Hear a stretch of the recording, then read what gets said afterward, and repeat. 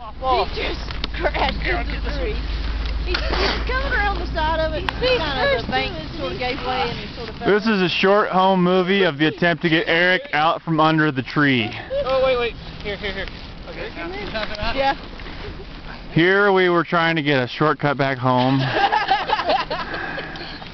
It was not entirely successful. Beauty. I can't get it popped. Our witnesses, Did you get pole, Dave? Yeah. I think I can get a better angle. That's awesome. I know.